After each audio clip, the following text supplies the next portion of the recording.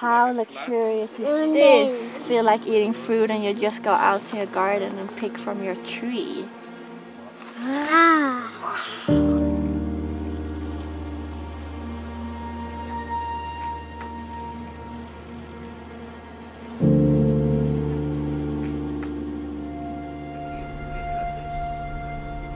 Es muy... Duro. Sí, bastante.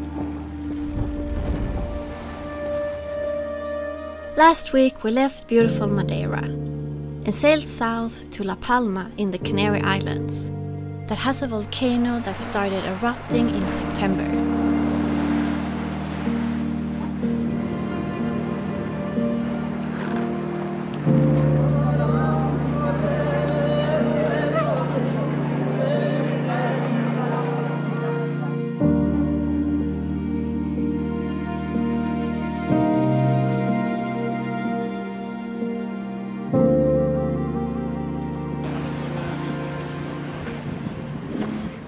We're at the new spot again in the marina. We just went crazy over there, so we decided to move. And it's much better on this side. And the wind has calmed down a bit as well, so today it's actually quite nice in here. So much calmer. We slept really well. I hope it stays like this now.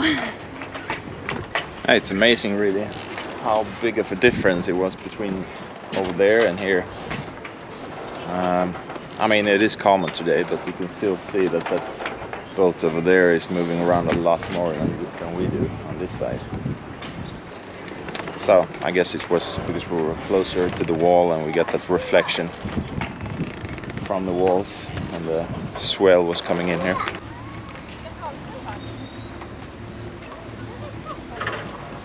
A lot of stuff with us, as, as usual. as always. gonna be away for uh, what is it? 48 hours. Uh, Vera is there in the back. We're heading up in the mountains today and we're gonna be, uh, meet our friends Krista and Seb. And they're gonna show us some places here on the island. We'll go to a national park I think maybe do some hiking and of course go and see the volcano We were going to the west side of La Palma, where we would meet our former sailing friends that we last saw in the San Blas Islands in the Caribbean four years ago.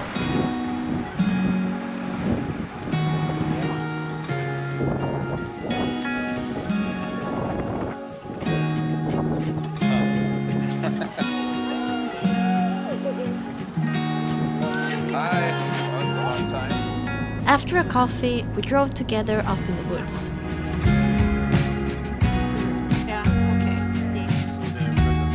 So do you want to walk around here maybe? Uh, On the way maybe? Uh, you can hear the volcano. Roaring. Yeah, we're downwind from it now, so it's even louder here. Yeah, these are.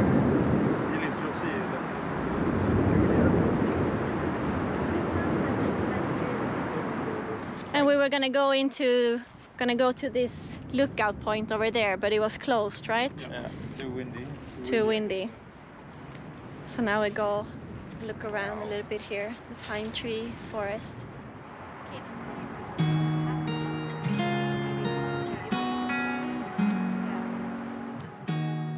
Made a little stop, we found an almond tree.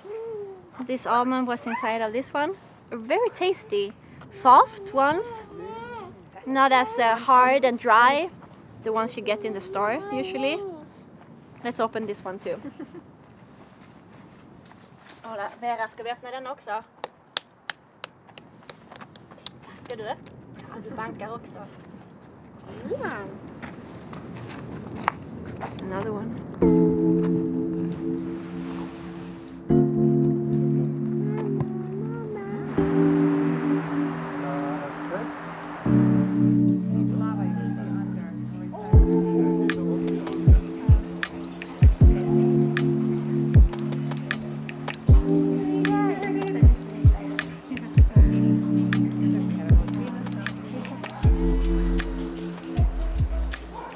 We just stopped on the way to Seb and Krista's place to have a look at the volcano from up here. And now the sun is about to set, and you're about to see the lava flows now when it get gets a bit darker. I don't know if you can see it now on camera, but you can see the rivers of lava pouring down towards the sea from here. It's amazing. It's so big. This area where, that is filled up with lava. I read somewhere that this is the most destructive er- eruption in uh, modern history on the island, or the biggest eruption. All that black soot you see coming out of the volcano is like this ash that you have here on the the street, and the whole day now in, in the town we've been getting that in our eyes and on the table at the restaurant and everywhere. People wear masks and protective glasses. This huge, really impressive mountain like wall or ridge, uh, I got some ash in my eye, is part of the Roque de Muchachos, which is the volcano that created the whole island. So can you imagine that a volcano has created this whole island and now we see that tiny volcano down there and then imagine how big was the volcano that made La Palma or and all the other islands here. That's kind of impressive to think about. Ooh, it's steep. it's pretty steep, huh? Wow. And Christian said they live up on this mountain here, so we're gonna go to their house now. They live on uh, 1,000 meters above sea level. Walking over and see if we can get a look at the volcano from over here.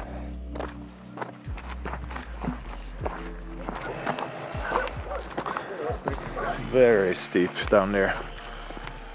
Vertical wall almost. Check the sun just Wow. this is quite steep.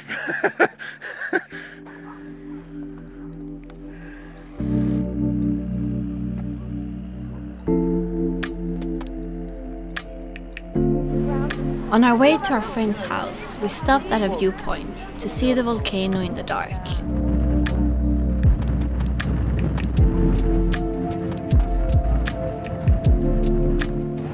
Ganska mycket folk var man. Yeah, and I can't see. A Lot of ash. Yeah, and it's windy. I'm standing there and filming.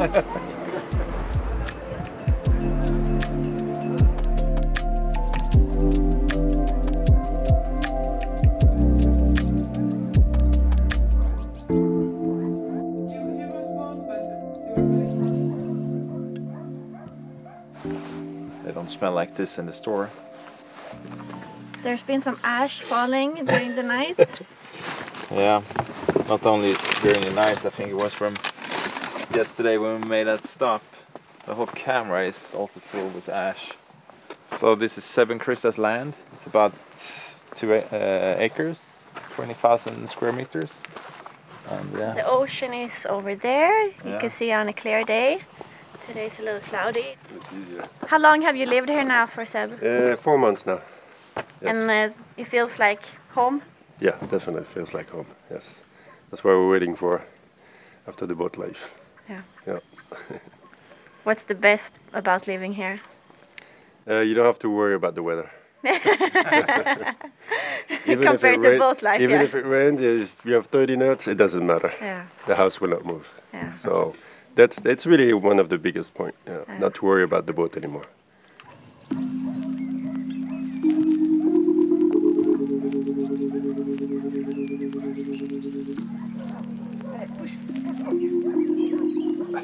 Maybe one day have to make a, a path, you know, to. it's on this Krista, what do you like the most it's about because your new house and home? I love the fruit trees. Yeah. We have a lot of them, around 170. Yeah. So so this- they're my favorite at this point. Oh, Love eating fresh organic When fruit you straight from the trees. room, mm. that's. Yeah, yeah. And then suddenly on the, on the map, it says, oh, okay, no, we can, no, we cannot buy that. Lukta på den. Luktar den gott? Får lukta. Oh, it smells delicious. How luxurious is this? Feel like eating fruit and you just go out to your garden and pick from your tree. Ah.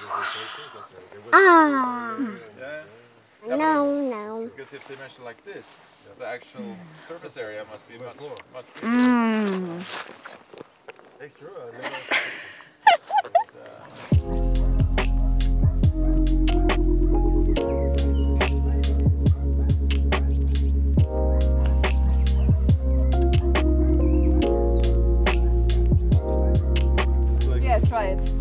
Don't take a big bite. No, take a small one. Before you like process them, it's like bitter. Uh oh. It's Uh not oh. bad, but it's bitter. Oh yeah. Not good. it's not good. Ugh. Fy. oh my god, what a strong flavor! yeah, it's super bitter. Need a small bite more.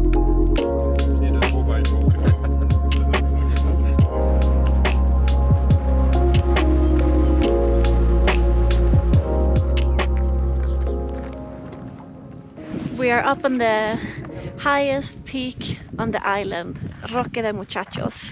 And it's cold here, but the sun just came out, so now it's much nicer. And we have, we're making a time lapse over those clouds that are just rolling over the edge.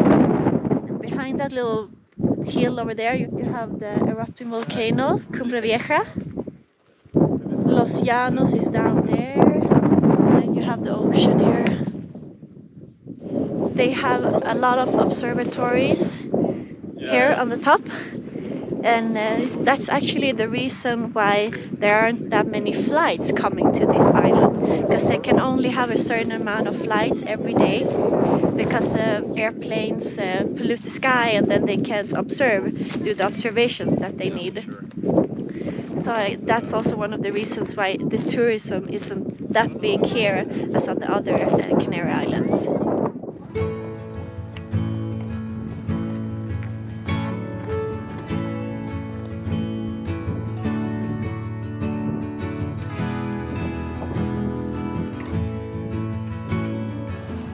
Quite far down, looking down into the crater of the big volcano here on the island.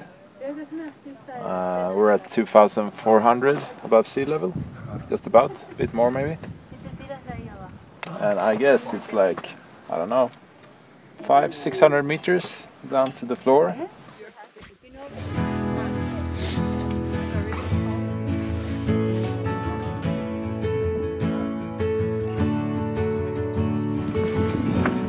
So it's time for lunch. We'll drive down the mountain a bit and uh, Seb and Krista knows a restaurant that we're going to. Pretty big. yeah.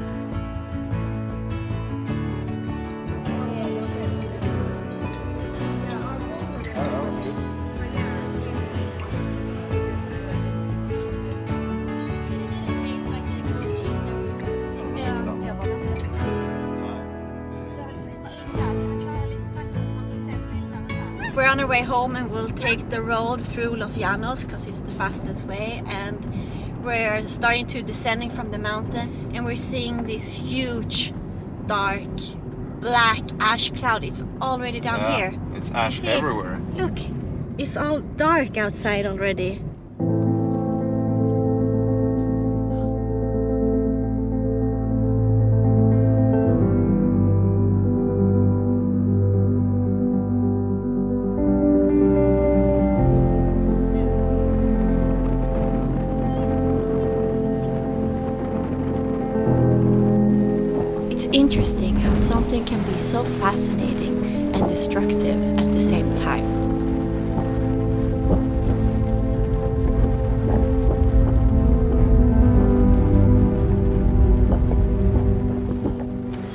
came back late to the boat and saw that our boat had moved spot and that our previous dock was now also broken off.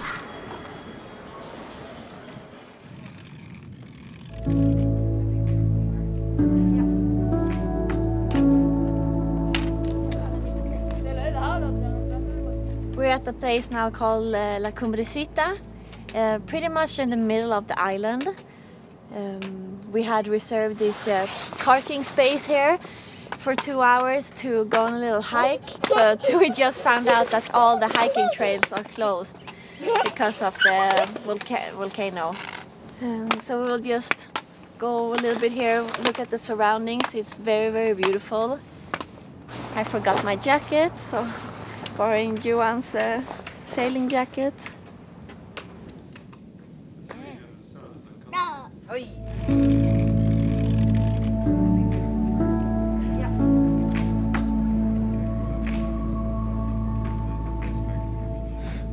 volcano is like down there somewhere. We can't really see it from up here. But the sound is amazing. I mean, it's so powerful, reflecting against these mountains here. Constant rumbling.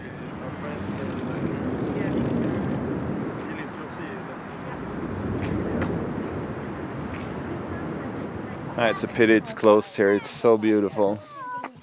But I can understand why. There's been a lot of earthquakes and they are afraid of rocks falling from the mountains here.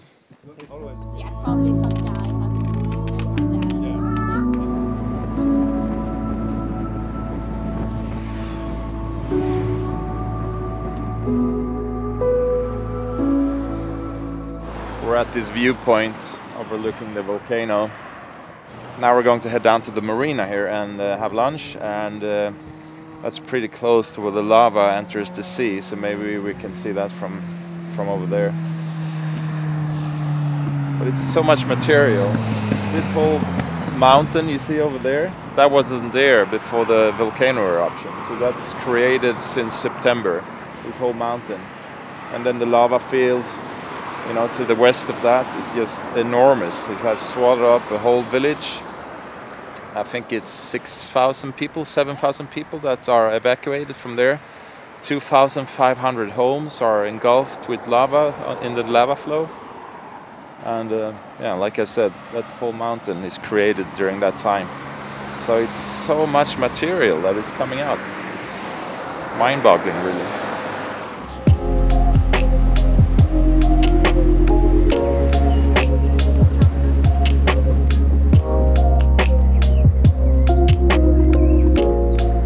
Out at the pier here in the marina in Tazacorte.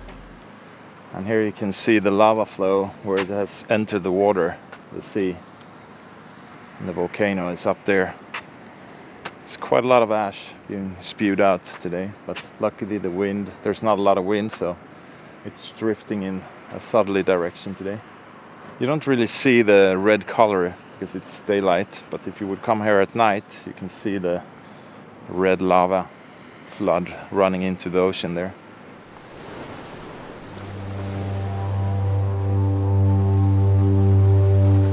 The lava has created two deltas in the sea. The southern one measuring 43 hectares, and the one further north 5 hectares.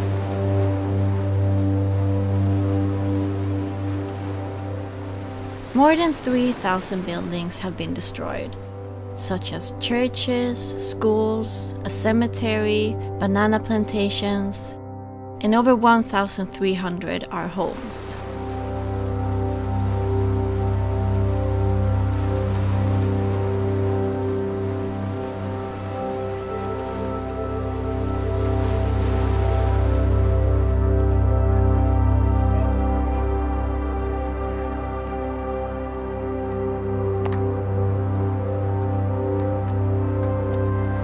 Went back to Los Llanos, where we're going to meet Krista and Seb's friend Victor to talk with him about the volcano. So now we're at uh, Victor's house. Uh, it has amazing view over the sea, and of course the volcano is right there.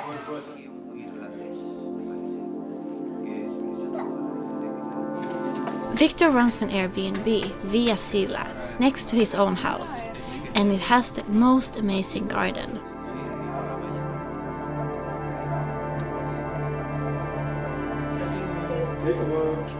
Yeah, what a beautiful place, huh? Yeah, really an amazing view.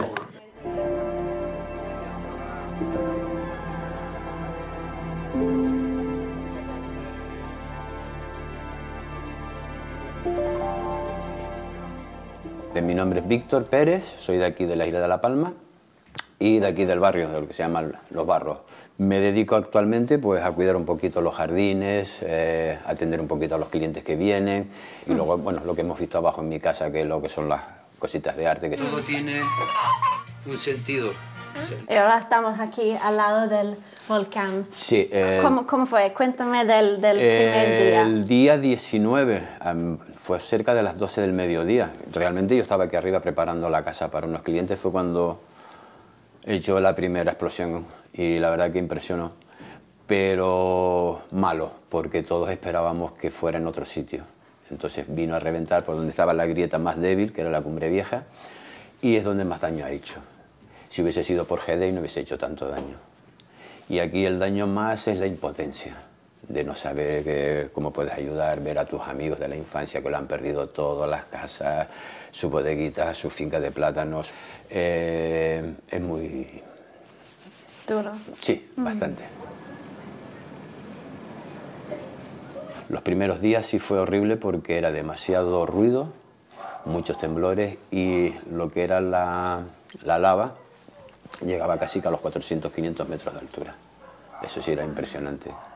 Y luego aquí que notas los temblores, los oyes venir, como si fuese cuando se acerca un coche, que vas viendo...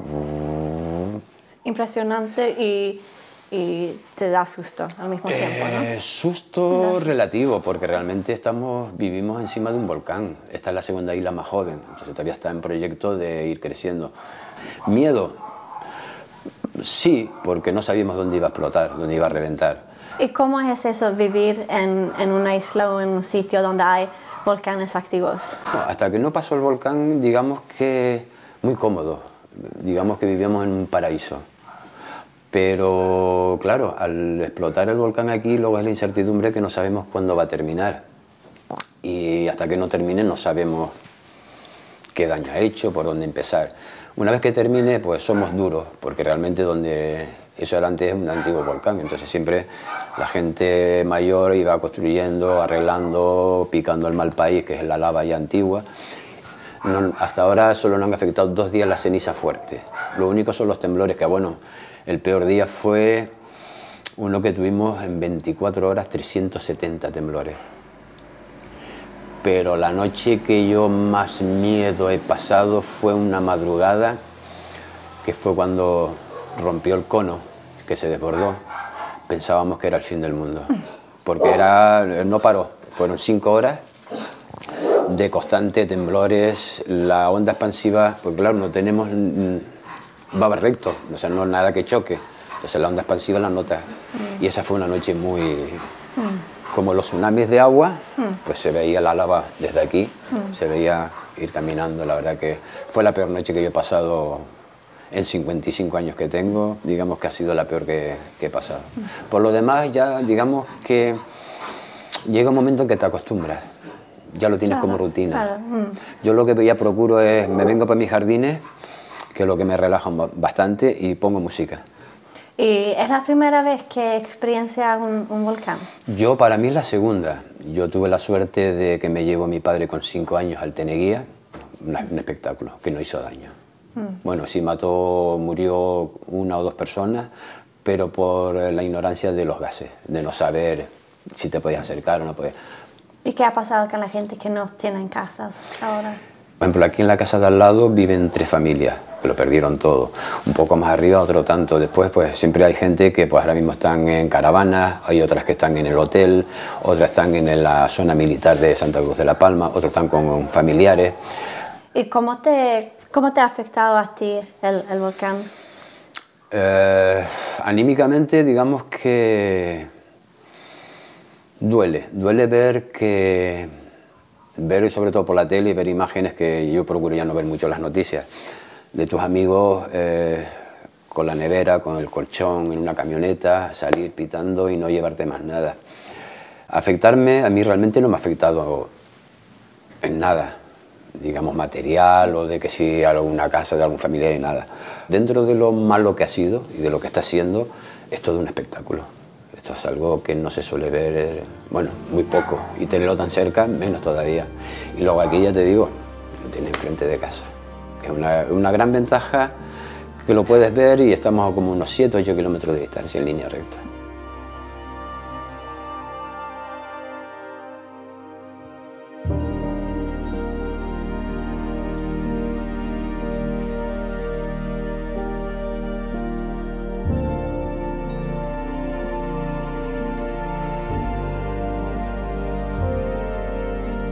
Few days later, the volcano calmed down. And after 10 days, the authorities just now declared that the eruption is over.